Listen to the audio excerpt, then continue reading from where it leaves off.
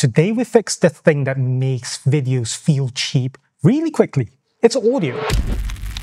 Go to the timeline and find your talking clip. Click the audio track so you can see the little volume line. Now play it and look at the meters to the right. For beginners, a good easy rule is your voice should sit around strong and clear without hitting the red. If it's peaking into red, it's too loud. Pull it down. And that is assuming you didn't clip your audio when you were recording it.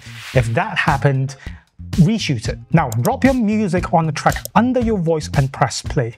If you can't understand your words easily, if it's not clear enough, then the music is too loud. You normally need to lower down the music lower than you thought that you need to.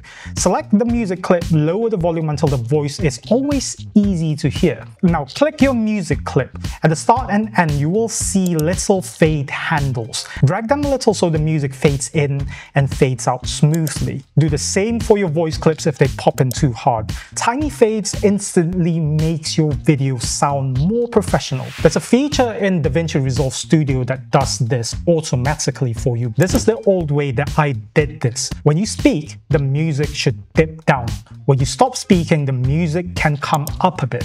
The easy way on a music clip, enable volume keyframes. You can do it on the clip volume line. Add one keyframe before you talk and one after. Pull the middle section down a little bit. Now your voice stays clear without turning the music off. If your voice has hiss or room noise, go to Fairlight, find a simple noise reduction tool or voice isolation if you use it. Use it lightly because it can sound robotic or underwater really, really quickly.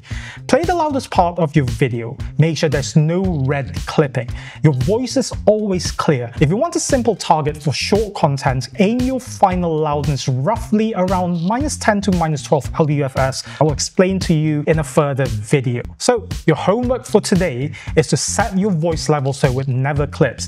Add music under it, add fades to music start and end, and at least one music clip using keyframes. Export a quick test and only listen to the audio without watching the video. So if you found this video helpful, like and subscribe so you don't miss the next day. See ya.